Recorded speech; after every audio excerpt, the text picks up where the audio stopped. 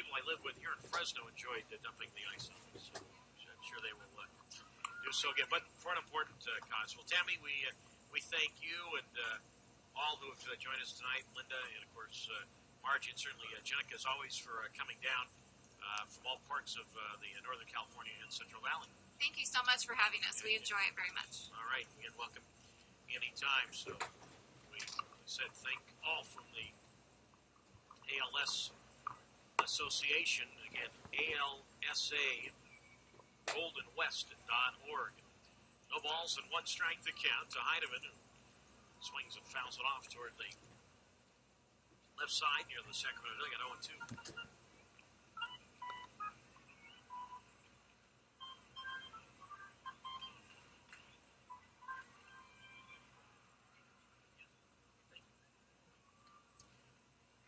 No balls and two strikes to count to Tyler Heineman.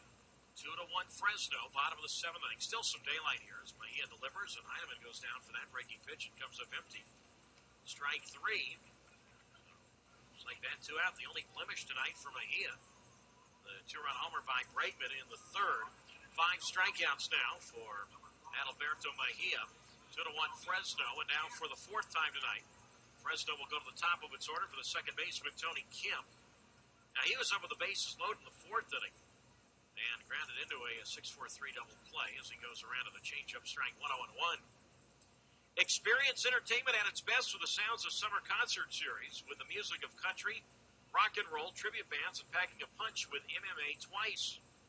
Secure your reserve seats today. They're available online at chukchansigold.com, at the Gallery Boutique, or by calling 1 7 win win 0 1 to Kemp low ball 1 1 1, that's chukchansigold.com at the Gallery Boutique or by calling 1 7 win win More entertainment only at Chukchansi Gold Resorts and Casino. One ball and one strike to count. 2 to 1 Fresno. The pitch to Kemp, strike two called on the outside corner. One ball and two strikes. So action all around the bullpens right now. Brendan McCurry, I'm guessing we're going to see him in the eighth inning. Steven Okert and Jake Dunning. Okert the lefty, Dunning the right-hander in the Sacramento left field bullpen.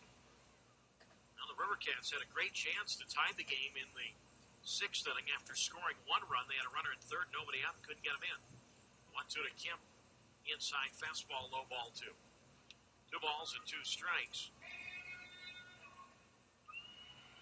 Longest that Mejia has gone as a Rivercat seven innings. Again, that was with the Sacramento debut at home against El Paso June 18th. Three quarter windup with the 2 1 on the way to Kemp. The 2 2 on the way to Kemp inside ball 3 3 and 2. Longest outing this year for Mejia.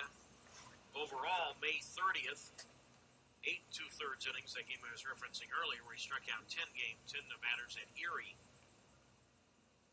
Three balls and two strikes to count. And that's double A for the Tigers in the Eastern League. A windup of the payoff. Strike three call. Breaking pitch there, and Kemp knew it. Good pitch on the inner half of the plate. Mejia, good outing tonight now with six strikeouts and 10 in a row set down by Mejia the last three innings.